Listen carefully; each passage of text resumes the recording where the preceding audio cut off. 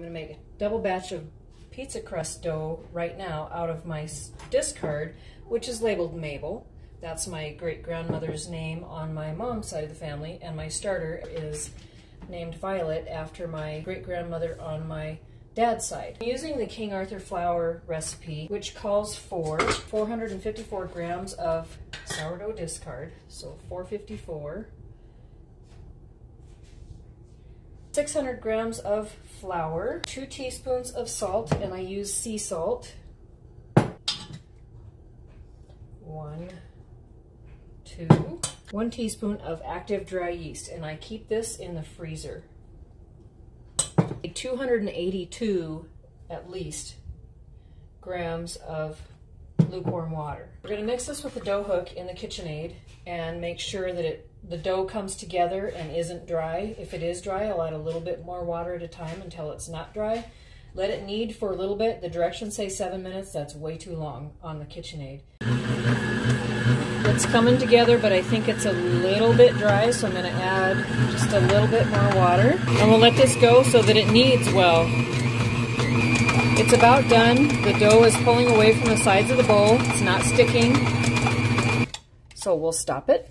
See how it's climbing up the hook? I'm going to put it into two separate quart-sized freezer bags so that we have two different pizza crusts in the freezer ready to go. I'm labeling my two quart-sized bags with the date and contents, sourdough, pizza crust, and instructions. Thaw in fridge for 12 hours rise 30 minutes, shape, rise again, and bake. Fold it back so I don't get dough in the zippers. Olive oil. I get a little bit down the side so it goes down to the bottom.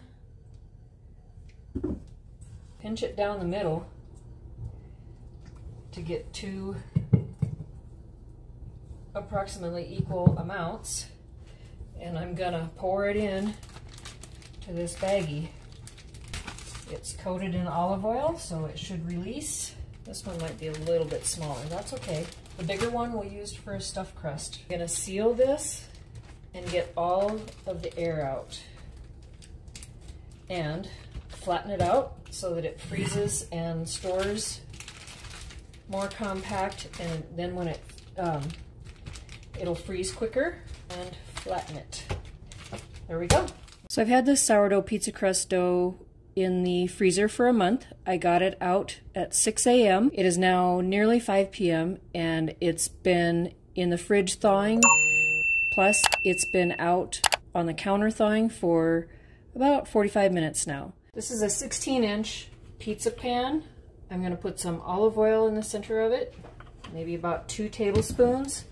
And we'll get the dough put onto the pan and we're going to, I'm to turn it over so that I have some oil on the top so my hands don't stick. And I'm just going to spread it out into an even layer. Make sure that outer edges aren't too thick.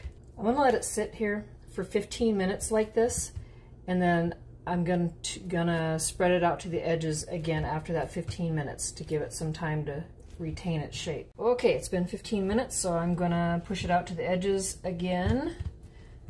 And hopefully it'll hold its shape this time.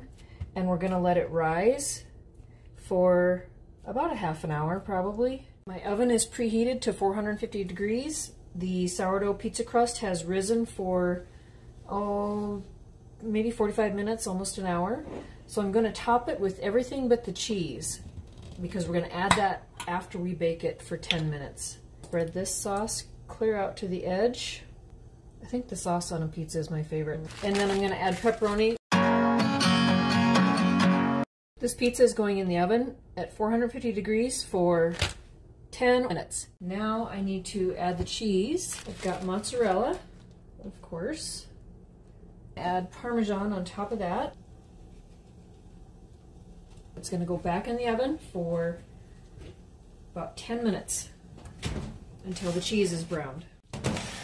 Oh man, that looks so good. Let's get it cut up.